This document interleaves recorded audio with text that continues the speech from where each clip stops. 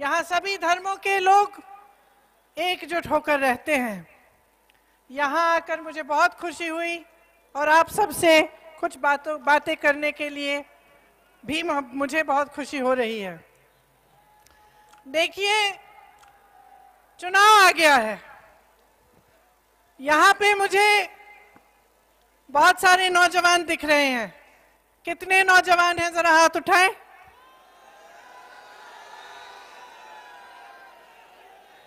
आप तो नौजवान नहीं है।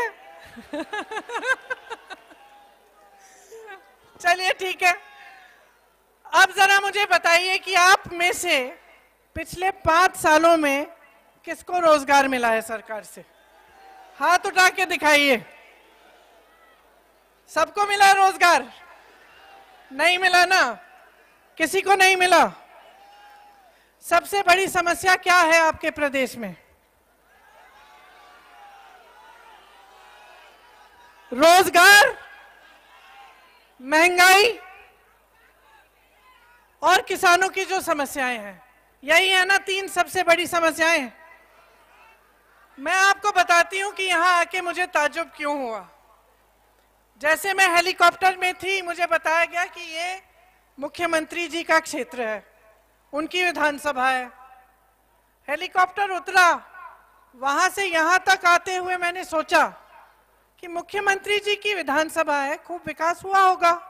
इतना तो देखिए, हर प्रदेश में हर मुख्यमंत्री कर लेता है।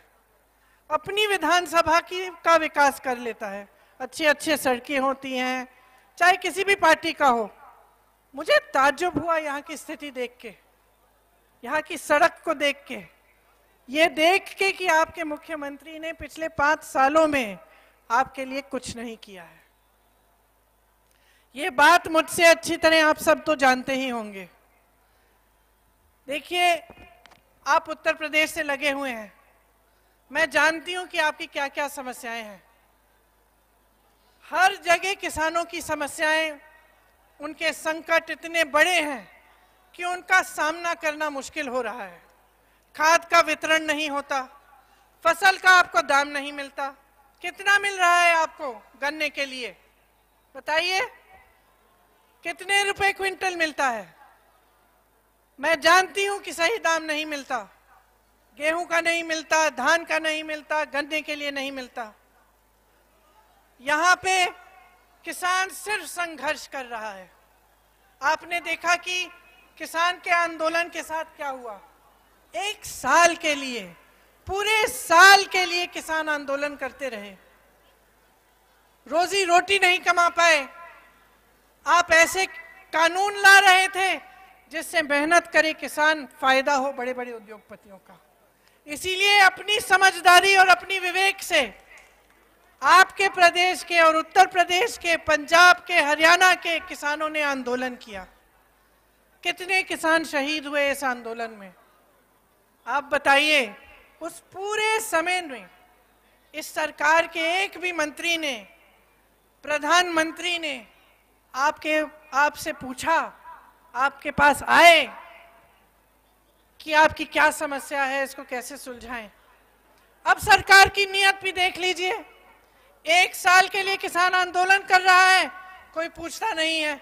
किसानों तक पहुँचता नहीं है पूछने की कैसा, क्या है, क्या समस्या है, कैसे सुलझाए? चुनाव आने लगा। चुनाव आने से एक महीने पहले किसान कानून रद्द कर दिए। रद्द करने के बाद भी जब इनसे पूछा गया कि जो शहीद किसान हैं, उनके लिए आप क्या करेंगे?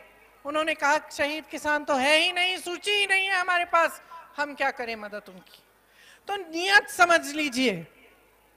आपके यहाँ भी आवारा पशु की बहुत बड़ी समस्या है।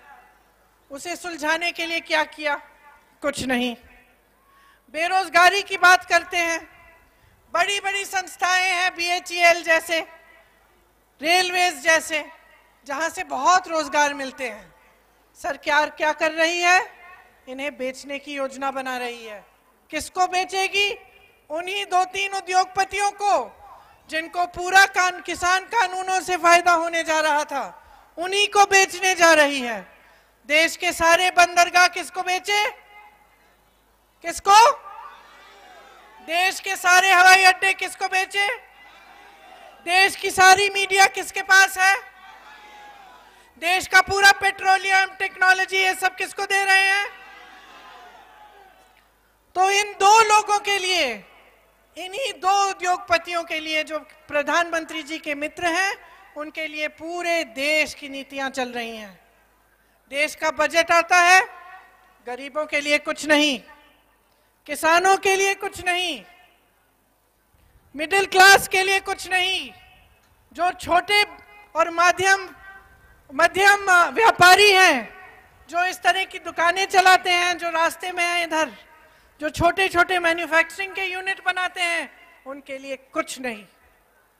वही है इस देश की देश की रीढ़ की हड्डी, जो छोटे दुकानदार हैं, छोटे व्यापारी हैं, जो पिछले पाँच सालों में जिनका व्यापार बंद होने के कगार पर आ गया है। जिनको बताया गया था कि नोटबंदी इसलिए की जा रही है कि देश का पूरा काला धन वापस आ जाए। उनको ये नहीं बताया किसी ने कि नोटबंदी से उन पर कितना संकट आने वाला था। उसके बाद जीएसटी थोपी गई उन पर। कोरोना आया। कोरोना में लॉकडाउन हुए। सबसे ज़्यादा नुकसान किसको हुआ? सबसे ज़्यादा नुकसान उन्हीं छोटे व्यापारियों को हुआ, जो इस देश की रीढ़ की हड्डी हैं। मैं क्यों कह रही हूँ कि आप इस देश की रीढ़ की हड्डी हैं? क्योंकि रोज़गार पैदा करने वाले यही छोटे और माध्यम व्यापारी हैं। कोई अडानी जी और अंबानी जी नहीं पैदा कर रहे हैं रोज़गार आपके लिए। रोज़गार पैदा करने वाले छोटे और मध्यम जो व्यापारी हैं, जो बिज़नेस हैं, जो मैन्युफैक्चरिंग के यूनिट हैं, ये है। इस सरकार की नीति और नियत देखिए, किस तरह से आपकी कमर तोड़ी है। किसान की कमर तोड़ी छोटे व्यापारियों की कमर तोड़ी, बेरोजगार नौजवानों को एक भी रोज़गार नहीं दिया। अट्ठाईस हज़ार रोज़गार खाली पड़े हैं, पद खाली पड़े हैं सरकार में, उत्तर, उत्तराखंड की सरकार में। क्या उनको अट्ठाईस हज़ार बेरोजगार युवा नहीं मिले? यहाँ आप हाथ उठा रहे हैं, आप ही में पाँच, छह हज़ार तो यही होंगे। नौकरियाँ क्यों नहीं दी? आज तक वो पद खाली क्यों हैं? आज इतनी महँगाई क्यों है? आपको गैस सिलेंडर कितने में मिल रहा है? पहाड़ों में जाइएगा, उसका दुगना लगता है ट्रांसपोर्ट लगने के बाद। महँगाई इतनी ही है कि तेल नहीं खरीद पा रहे हैं। खाने पीने का सामान नहीं खरीद पा रहे हैं। रोजी रोटी नहीं बन रही है। और आपके सामने आकर क्या कहते हैं? धर्म की बात करते हैं। कैसा धर्म है ये? कैसा धर्म है ये इनका? सबसे बड़ा धर्म एक नेता का क्या होता है? जनता की सेवा। जनता की सुविधा। जनता का विकास। और आज तमाम भाजपा के नेता आपके मुख्यमंत्री से शुरू होकर देश के प्रधानमंत्री तक सिर्फ़ अपने विकास के बारे में सोच रहे हैं। सिर्फ़ अपनी सुविधाओं के बारे में सिर्फ़ अपने बड़े बड़े उद्योगपति दोस्तों के बारे में, आपके बारे में कोई नहीं सोच रहा। अगर आपके बारे में कोई सोच रहा होता तो इतनी बड़ी तादाद में मेरे नौजवान भाइयों और बहन, आप अपने हाथ नहीं उठाते जब मैं पूछती आपसे कि किसी को रोज़गार मिला है कि नहीं मिला तो आपका हाथ नीचे नहीं जाता। अगर इन्होंने आपके लिए काम किया होता तो आज इस महँगाई की मार से आपकी कमर नहीं टूट रही होती। अगर इन्होंने आपके लिए काम किया होता तो आपके लिए शिक्षा की सुविधाएँ होती। जब कोरोना हुआ तो आपके लिए सेहत की सुविधाएँ होती। कहा थे ये लोग? यहाँ से पलायन बहुत है। पलायन क्यों होता है? पलायन इसलिए होता है कि प्रदेश में रोज़गार पैदा नहीं हो रहे हैं। और आपके प्रदेश के पास तो सब कुछ है। हिमालय है, प्रकृति है, पर्यटन के मौके हैं। जो कोई नौजवान एक छोटा सा पर्यटन के लिए भी अपना बिज़नेस शुरू करना चाहे, उसको सुविधा मिलनी चाहिए, सहायता मिलनी चाहिए। सब कुछ है, हुनर है आपके प्रदेश में, लेकिन रोज़गार नहीं है। रोज़गार नहीं है। रोज़गार के लिए आपके यहाँ से लोग पलायन करके बाहर जा रहे हैं। पलायन करके बाहर जाते हैं, इतनी मेहनत से वो काम करते हैं, दिन रात काम करके घर पैसा भेजते हैं। इस सरकार ने क्या किया जब कोरोना आया? एक दिन में कह दिया लॉकडाउन हो गया। बसें बंद ट्रेन बंद। जाओ घर अपने। तमाम उत्तराखंड के लोग जो दिल्ली जैसे शहरों में मेहनत की कमाई करते हैं, दिन रात काम करते हैं, उनको भगवान के भरोसे छोड़ दिया। कुछ दिनों पहले प्रधानमंत्री जी ने संसद में कहा कि कांग्रेस पार्टी ने इन लोगों की मदद की। कोरोना फैला दिया पूरे देश में राजनीति करके। तो हम क्या करते मैं पूछना चाहती हूँ। आपके भाई बहन सड़क पे चल के आ रहे थे, पैदल आ रहे थे, कोई सुविधा नहीं थी, कोई साधन नहीं थी। था, क्या हम उनको ऐसे ही छोड़ देते? ऐसे बच्चे थे जो साइकिल पे अपने माँ बाप को बिठा के चला रहे थे 600 किलोमीटर दिल्ली से बिहार तक। मुझे याद है, मैसेज आते थे हम उत्तराखंड के हैं, दीदी। कहीं ना कहीं से हमें मदद कर दो। खाने को नहीं है, एक दिन का खाना बचता है। हमें मदद कर दो। मुझे याद है हमने कितनी जीपों का इंतज़ाम किया, बसों का इंतज़ाम किया। क्यों किया? हम राजनीति कर रहे थे क्या? हम अपना धर्म निभा रहे थे। हमारा देशवासी अकेला बड़े बड़े शहरों से पैदल अपने गाँव तक आ रहा था। हमारी सरकार ने उसको भगवान भरोसे छोड़ा। हमने उसकी मदद की। राजनीति के लिए नहीं, क्योंकि हमारा धर्म था। तो सोच लीजिए, जो ये सीधी सी बात नहीं समझ पाता, वो आपका विकास क्या कराएगा? एक सीधी सी बात है। हम सब बैठे हैं मंच पे। किसने बिठाया? आपने बिठाया ना? बोलो हमने। ज़ोर से बोलो, हमने बिठाया। ये बात कभी मत भूलिए।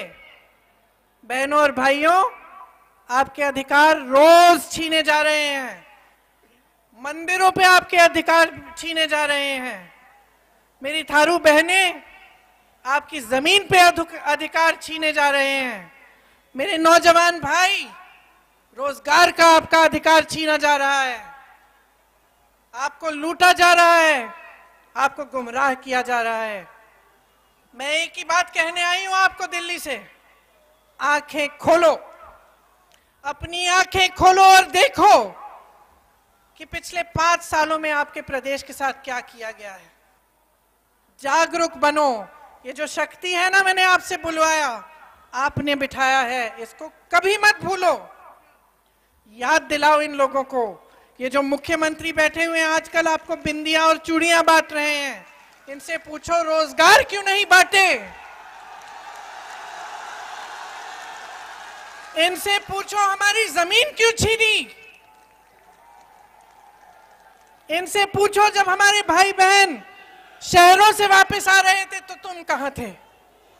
आज क्यों आए हो हमारे पास? जब हम संकट में थे जब हमारे किसान भाई आंदोलन कर रहे थे तो तुम कहाँ थे? और आप सब इस बात, आप सब इन सवालों का जवाब जानते हैं। अपने दिलों में झांको। पाँच सालों में क्या आप आगे बढ़े हैं? आपका जीवन बेहतर बना है? बताओ, बेहतर बना है? आपके इस मुख्यमंत्री ने आपका विकास किया है? तो हराओ इनको।